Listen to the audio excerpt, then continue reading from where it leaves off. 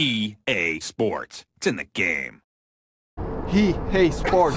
Bro, come on.